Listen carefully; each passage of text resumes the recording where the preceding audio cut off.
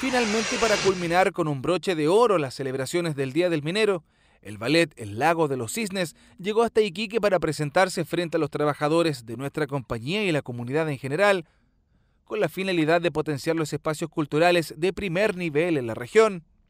Fue así como más de 3.000 personas asistieron a las dos funciones interpretadas por la compañía Max Arte, basada en la atractiva historia de la princesa Odette, de su enamorado Sigfrido y malvados brujos que convierten a la princesa en un cisne, una trama que combina drama, suspenso, romance y esperanza, todo interpretado a través de la danza, lo que ha traspasado la frontera del tiempo y del territorio, transformándose en una de las obras más reconocidas a nivel mundial.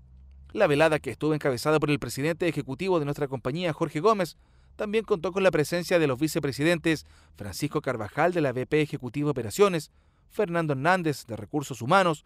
Marcos Márquez de la BP Mina y los presidentes de los sindicatos número uno de trabajadores y número dos de supervisores, Felipe Román y Carlos Zurita, respectivamente. Bueno, la verdad que yo creo que este cambio fue una, un acierto haberlo hecho. Una que también deja satisfecha a nuestra gente, que obviamente es nuestra preocupación eh, principal, pero también la integración con el resto de la, de la comunidad. O sea, lo logro ver la, la afluencia de público que hay ahora en día es sorprendente y eso es muy gratificante para, para nosotros. Creo que ha sido una semana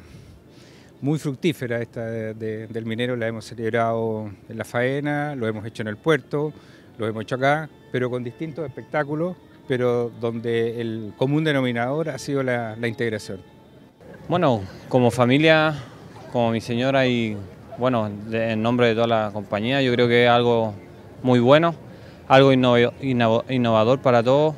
eh, sale de lo común, no es algo que se ve en todos lados y yo lo encontré una presentación bastante buena. En total fueron 34 los bailarines encargados de mostrar sus destrezas en el escenario, con Simón Hidalgo como el príncipe Sigfrido, Christopher Montenegro representando a Rothbar, Marisela Silva a Odile y Lara Goncalves a Odette.